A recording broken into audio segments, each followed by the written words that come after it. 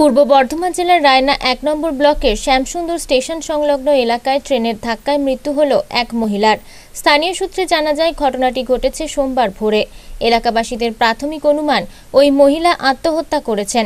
নিহত মহিলার পরিচয় জানা যায়নি। খবর পেয়ে ঘটনাস্থলে উপস্থিত হয় জিআরপি বলে জানান পলাশন অঞ্চল যুব তৃণমূল কংগ্রেসের সভাপতি লিয়াকত মণ্ডল।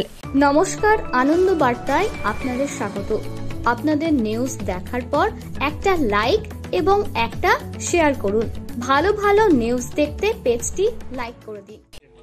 দুর্ঘটনাটা ঘটেছে শামসুন্দর আমাদের যে প্ল্যাটফর্ম আছে প্ল্যাটফর্ম থেকে একশো মিটার ছাড়িয়ে।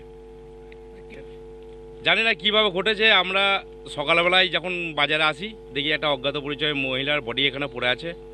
আমরা বিভিন্ন ভাব থেকে খবর নিলে দেখলাম যে ভোর চারটে চল্লিশে ট্রেনটা গেছে, সেই ট্রেনটাই উনি মাথা দিয়েছেন। কোনো মহিলার কোনো নাম বা পরিচয় আমরা জানতে পারিনি। এখানে অলরেডি জিআরপি এসে হাজির হয়েছেন। ওনাদের তত্ত্বাবধানে বডিটা আছে, এখন কারোর নাম ঠিকানা আমরা জানতে পারিনি।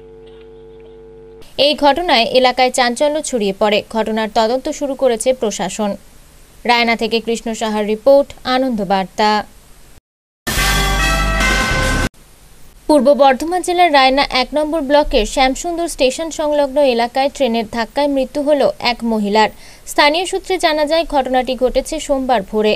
এলাকাবাসীদের প্রাথমিক অনুমান, ওই মহিলা আত্মহত্যা করেছেন।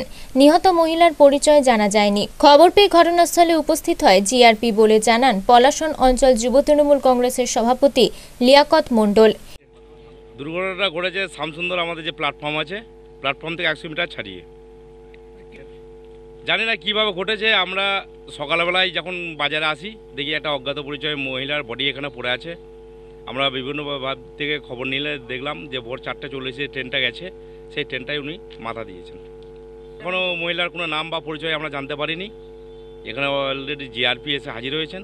ওনাদের তত্ত্বাবধানে বডিটা আছে, এখন কারোর নাম ঠিকানা আমরা জানতে পারিনি। এই ঘটনায় এলাকায় চাঞ্চল্য ছড়িয়ে পড়ে। ঘটনার তদন্ত শুরু করেছে প্রশাসন। রায়না থেকে কৃষ্ণ সাহার রিপোর্ট আনন্দ বার্তা।